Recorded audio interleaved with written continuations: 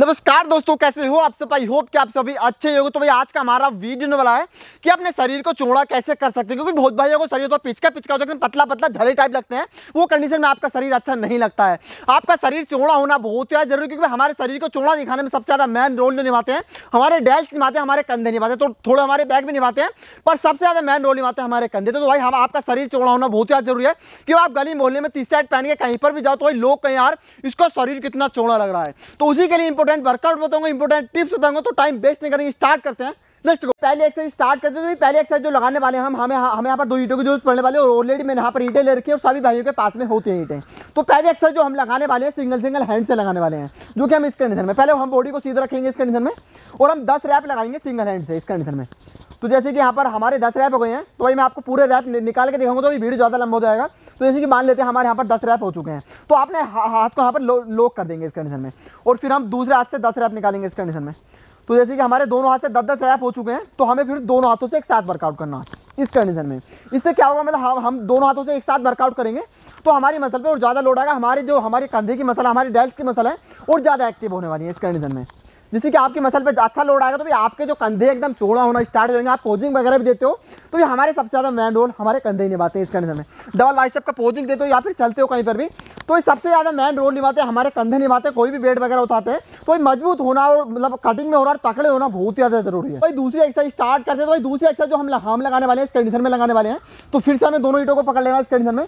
तो ये जो एक्सरसाइज हम लगाने वाले हैं, ये हमारे कंधे को ही टारगेट करने वाली है, हमारे कंधे की मसल को ही ट्रेन करने वाली है। तो हमें पहले बॉडी को सीधा रखना इस कंडीशन में, क्योंकि हम कोई भी एक्सरसाइज लगाते हैं तो हमें हमें मतलब इंजरी के चांसेस नहीं होने चाहिए, एकदम हमारे, हम जिस मसल को ट्रेन करना चाहते हैं, वही मसल पर हमारी लोड आना चाहिए। तो पहले बॉडी को सीधा रखेंगे इस कंडीशन में और हाथों को सामने की तरफ़ लेकर जाएँगे और फिर हम दूर करेंगे इस कंडीशन वाइट करेंगे सामने और इसकी पीछे की तरफ़ और वापस से हम नीचे लाएँगे। वापस से ऊपर इस कंडीशन में। तो ऐसे ही आपको 10 से 15 रैप निकाले हर एक्सरसाइज के, इस कंडीशन में। और बॉडी को ज़्यादा हिलाना नहीं है इस कंडीशन में। तो पूरे हमारे कंधे पे लोड आ रहा है, हमारे डेल्स पे लोड आ रहा है। साइड से आपको इस कंडीशन में करना पूरा एकदम स्क्यूज पीछे की तरफ़ और ये सामने और ये सिलो नीचे। ऊपर स्क्यूज। और अपने जो हाथ है मतलब ज़्यादा नीचे नहीं होने चाहिए, पूरे एकदम सीधे सामने की तरफ़।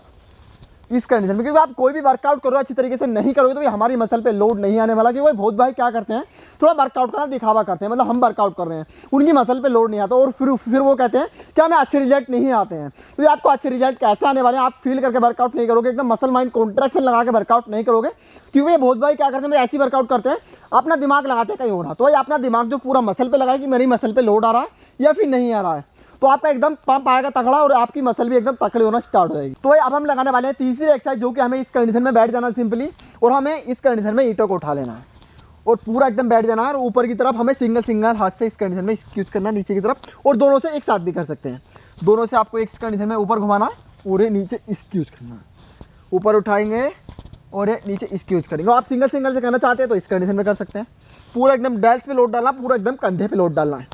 क्योंकि जब कि जब तक आपकी मसल पे लोड ना आए तो आपको एकदम समझ के वर्कआउट करना कि भाई मेरी मसल पे लोड आ रहा है, फिर नहीं आ रहा है। इस कंडीशन में। और आपसे मतलब थोड़ी वर्कआउट मतलब एक्सरसाइज अच्छी कंडीशन में नहीं होती है। तो किसी शीशे वगैरह के सामने इस वर्कआउट को फॉलो कर सकते हैं।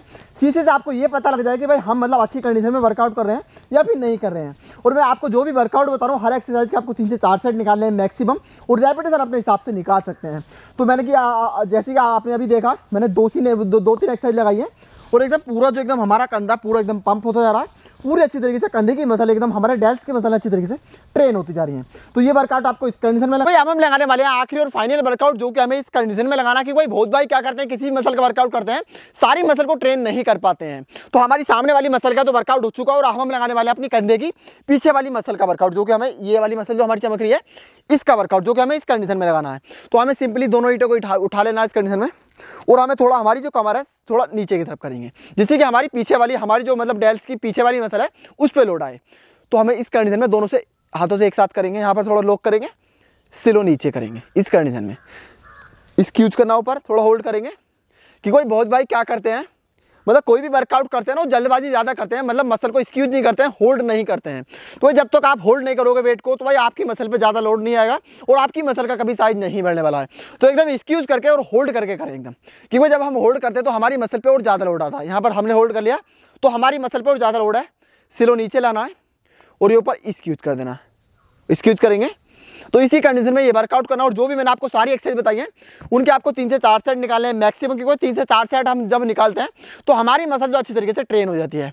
क्योंकि किसी भी मसल को हम अच्छी तरीके से ट्रेन नहीं करेंगे तो हमारी जो मतलब हमारी जो मसल का साइज़ है वो कैसे बढ़ने वाला? तो ये वर्कआउट सारा फाइनल हो चुका है।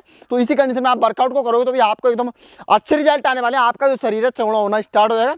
आपके कंधे तकड़ा होना स्टार्ट हो जाएँगे। तो वीडियो पसंद आया तो भाई लाइक शेयर करना ना भूलें और अगली वीडियो किस टॉपिक बनी कमेंट के थ्रू आप बता सकते हैं। तो मिलते हैं किसी नई वीडियो में नए टॉपिक के साथ। जब तक के लिए जय हिंद और बंदे मातरम।